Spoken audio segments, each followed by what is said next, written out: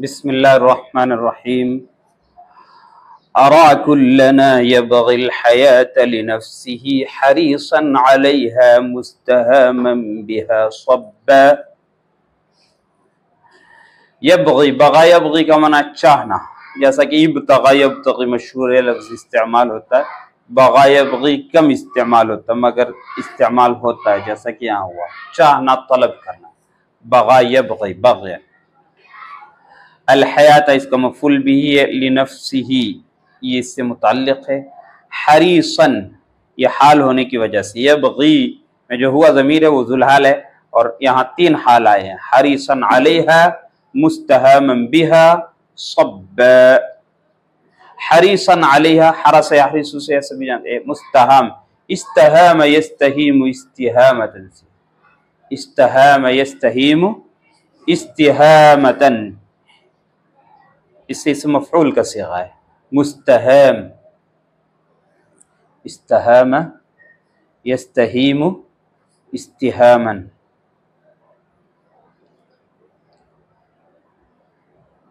सब आशिक को कहते सबाबतुन से सबाबतुन पीछे भी आ चुका सबाबतुन का माना इश्क और मोहब्बत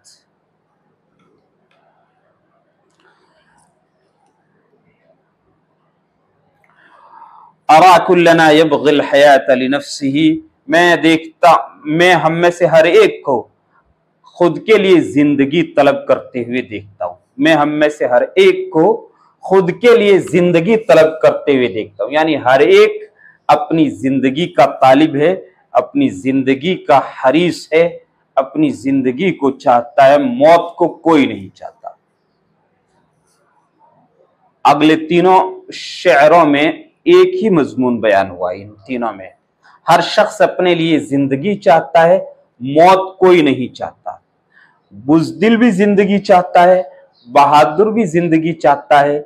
ज़िंदगी चाहने और तलब करने के तरीके अलग अलग है। बुजदिल मैदान जंग से भाग करके ज़िंदगी चाहता है और बहादुर शख्स मैदान जंग में इकदाम करके, आगे बढ़कर, लड़ करके मौत नहीं चाहता, ज़िंदगी चाहता है। बहादुर शख्स ज़िंदगी इस तौर से चाहता है कि दुश्मन का खात्मा कर दिया जाए और अमन और सुकून की ज़िंदगी गुजारी जाए। और बुजदिल शख्स मैदान जंग से भाग करके चाहता है कि भाग जाऊँ और भाग के भाग के अमन और सुकून की ज़िंदगी गुजारूँगा। तो हर एक चाहता है ज़िंदगी को मगर उसके लिए चाहने के तरीके अलग अलग है। और फ़र्क इतना है, फ़र्क इतना है कि एक की भलाई दूसरे के नज़दीक बुराई है। बुजदिल के नज़दीक भागना ही बेहतर है। और ये भागना बहादुर शख्स के नज़दीक एक बुरा काम है और इंतहाई घटिया काम तीनों शहरों में जो बात कही गई वो यही कही गई। अराकुल्लना यबगिल हयात नफ्सिही मैं हम में से हर एक को खुद के लिए ज़िंदगी चाहते हुए या तलब करते हुए देखता हूँ। हरीसन अलैहा, इस हाल में कि वो ज़िंदगी का हरीस है मुस्तहाम बिहा, ज़िंदगी पर फरेफ्ता है सब उस पर आशिक है। ज़िंदगी पर फरेफ्ता है, उस पर आशिक है।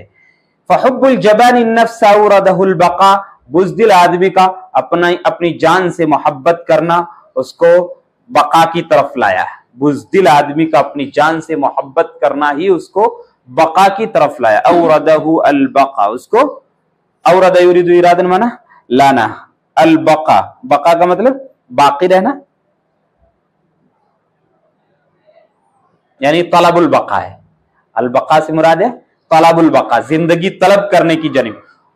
बुजदिल आदमी का जान से मोहब्बत करना उसको बाकी रहने की तरफ़ लाया। यानी उसको मैदान जंग से फरार करने या भागने या मैदान जंग से बचने की जानब लाया। वहबुशुजारबा और बहादुर आदमी का जंग से मोहब्बत करना उसको जंग में लाया है।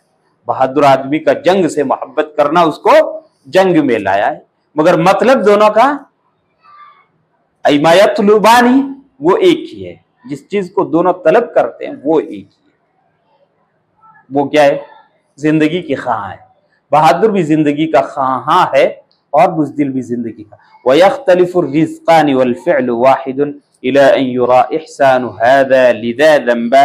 और रिज्क दोनों के मुख्तलिफ़ हैं।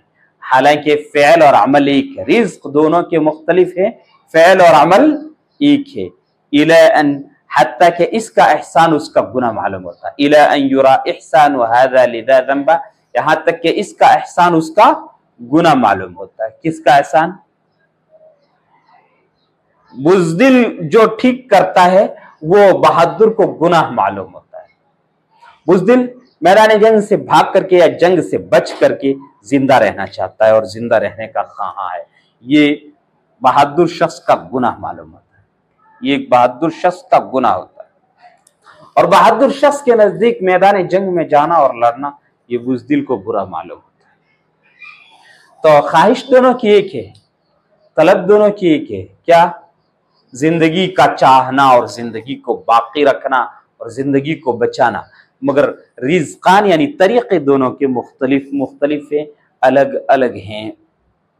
ये जंग से बच करके सोचता है कि मौत से बच जाऊँगा।